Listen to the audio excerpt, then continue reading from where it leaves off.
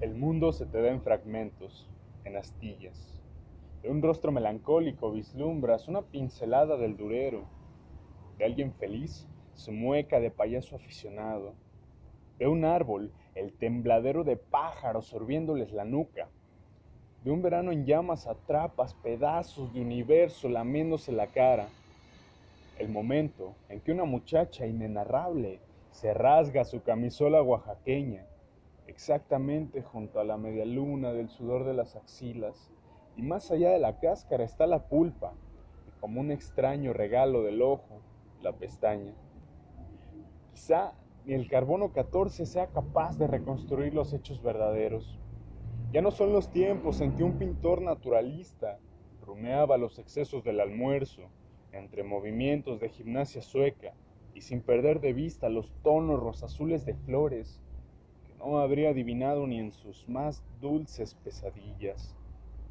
Somos actores de actos infinitos, y no precisamente bajo la lengua azul de los reflectores cinematográficos. Hoy, por ejemplo, que ves cómo Antonioni se pasea con su camarita de rutina, observado por aquellos que prefieren enterrar la cabeza entre la hierba, a emborracharse de smojo, qué sé yo, para que ya no aumenten los escándalos que ya hacen intransitable la vía pública, por los que han nacido para ser besados largamente por el sol y sus embajadores cotidianos, por los que hablan de coitos fabulosos, de hembras que no crecen en esta edad geológica, de vibraciones que te harían tenaz propagandista del budismo zen, por los que se han salvado de los accidentes que la nota roja llama sustanciosos, de paso, por ahora, no se cuentan entre las flores del absurdo. Así, en el trapecio del alambre de equilibrio, de este circo de mil pistas, un abuelo platica la emoción que sintió al ver a Gagarín revoloteando como mosca en el espacio. Y lástima que la nave no se llamara Ícaro I y que Rusia sea ferozmente antitrosquista y su voz se disuelve, da de tumbos entre aplausos y abucheos. La realidad y el deseo se revuelcan, se destazan, se desparraman una sobre la otra, como nunca lo harían en un poema de cernuda.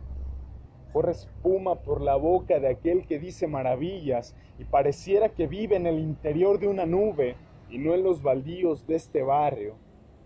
El aire húmedo de abril, el viento lascivo de otoño, el granizo de julio y agosto, todos aquí con sus huellas digitales.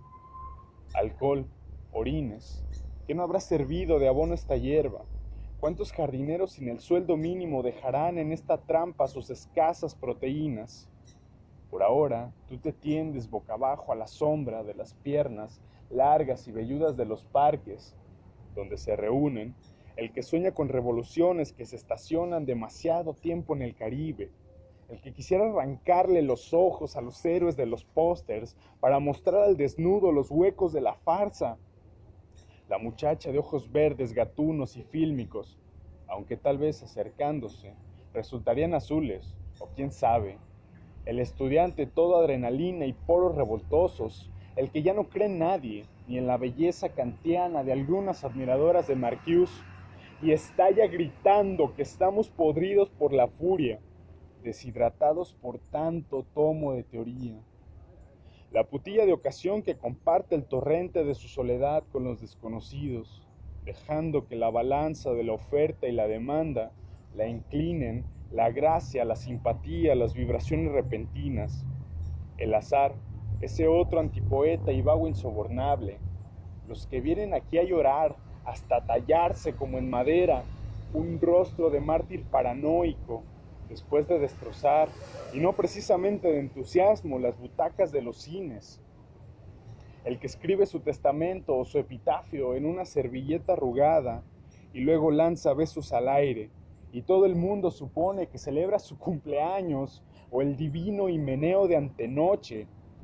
Todas las hipótesis resultan frágiles para explicar por qué utilizó una pistola y no un bote de pintura si parecía capaz de seducir hasta la calentura, el pulso, la pupila del guioto, el que siempre saluda con un yo estoy desesperado y usted los que se aman rabiosamente como perros callejeros en las verdes y en las maduras, y uno los llama enamorados floridos, y son un afrodisiaco no solo para la sensibilidad de Marchagal, los que conocen en persona la muerte, a la hora en que el suicidio se vuelve una obsesión, unas ganas despeinadas de morder y ser mordido, de poner un hasta aquí a tanto castillo de arena que parece inderrumbable. Las revolvedoras cotidianas de cemento te desbaratan como si fueras un papel de estraza. Y entonces comprendes al que quisiera sepultar bajo toneladas de plantas, edificios, tierra negra, el menor latido. La taquicardia de su historia íntima te contagia, el nerviosismo, la intranquilidad de los que hacen como que respiran, como que poseen un cierto dejo de plantas carnívoras y se pasan horas esperando a la compañera ternura, esa call girl que raras veces llega. Los que vienen escapando de los gases lacrimógenos y las macanas de las grandes avenidas, de las grandes y pequeñas manchas que ya no tienen remedio, con aroma de pino y la caricia de un Kleenex. Los que ignoran quiénes son, ni lo quieren saber, cuando el clima tiene peor fama cada día. Los eternos enfermos de amnesia se chupan el dedo de alegría, porque aquí, y no en Miami, está el paraíso terrenal.